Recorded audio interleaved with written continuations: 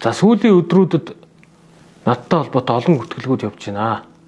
Үүний нэг нь 14-өөс 16 насны хүүхэдтэй бэлгийн харьцаанд орох гимтэргийг хуулиар зөвшөөрсөн этгээд гэдэг ийм гүтгэлэг явж байна. Миний гард 2015 онд батлагдсан Монгол Улсын эрүүгийн хуулийн эмгэгтгэл байна. Энэ 12-ын 5 2015 онд батлагдсан. Энэ хуучин эрүүгийн хуулийн 122 буюу 2020 онд батлагдсан энэ харьцуулсан судалгаа миний гар дээр байна.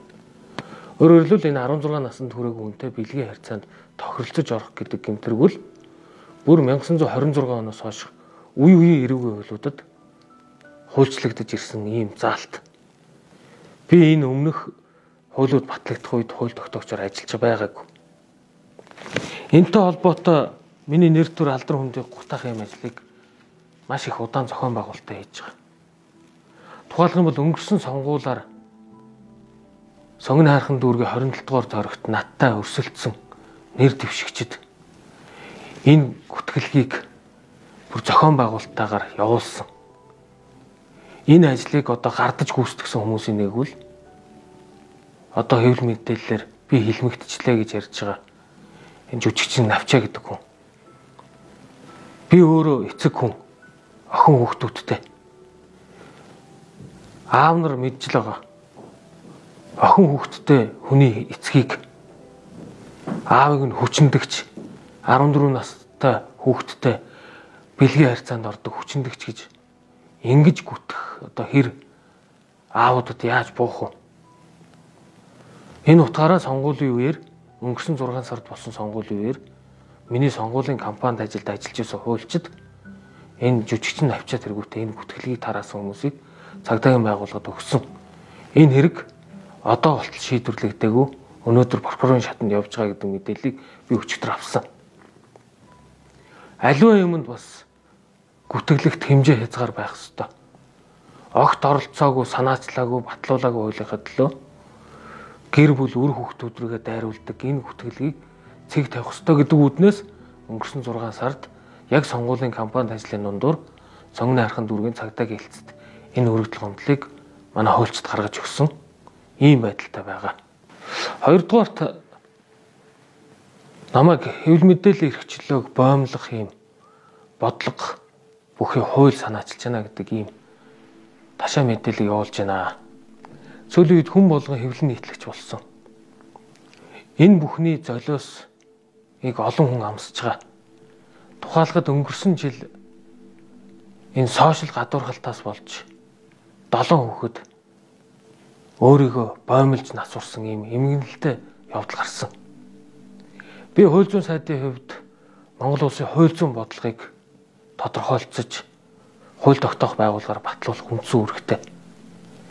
Хэвлэл мэдээллээр хэрэгслээр үг хэлэх үзэл бодлоо илэрхийлэх эрхийг хэвлэл мэдээллийн эрхчлөөний хуулиар баталгаажуулахаар бид ажиллаж байгаа. Энэ хууль одоогоос 2 жил гарны өмнө батлагдсан. Боловсрогдсон. Энд ерөөсөө бүх хүн хэвлэн нийтлэгч байх хэрэгтэй. Бүх хэвлэн нийтлэгчид дундаасаа хэвлийн зөвлөл гэдэг төрийн бас байгууллагыг байгуулъя. Авг хэвлийн зөвлөл нь бусдын гомдлыг барагдуулах үүрэгтэй. Гүтгэлгийг залруулах үүрэгт ноогдуулдаг ийм шийдвэрл гаргахыг гэж. Хэрвээ энэ шийдвэрийг биелүүлээгүй тохиолдолд гомдогч хууль хяналтын байгууллагаар гомдлоо гаргаж ял гэдэг энэ үүднээс энэ хууль бичигдсэн. Би түрүүнд маш эмгэнэлтэй тойлсон. Зөвхөн нэг жилд өсвөр насны 7 охин энэ сошиал гадуурхалд сошиал дарангуулаас олж энэ хорвоог орхисон. Монгол улсын хууль зүйн бодлого өөрөө бүх хүнд адил тэгш үйлчлэх хэрэгтэй. Бусдын эрх хүний эрх бусдын эрхээр л хязгаарлагдах ёстой. Гүтгэлэг доромжл нийтэд худал мэдээлэл тараах гэдэг үл өөрөө ямар үр дагавартай бид өмнө нь олон сонсч ирсэн. 2002 онд нэгэн гайлын байцаагч эмэгтэй энэ бусдын худал мэдээллийн золиос болж нөхөртөө зодуулж насурч ирсэн. Энэ мэдээллийг сэтгүүлд нийтлсэн сэтгүүлч мөн одоо хуулийн хариуцлага хүлээжсэн. Тэгэхээр энэ хортой худал мэдээллийн эцсийн үр дагавар бол маш аимшигтай.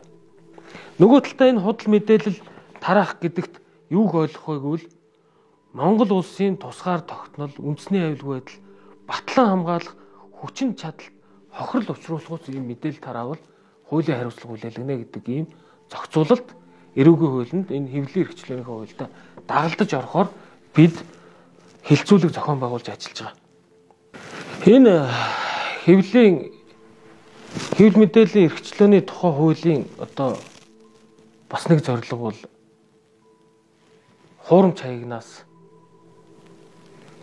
элтэд худал мэдээллийг түгээж бусдыг гутаанд оромжилдог сошиал гадуурхлыг бий болгодог энэ үйлдэлийг л таслан зогсооход оршиж байгаа.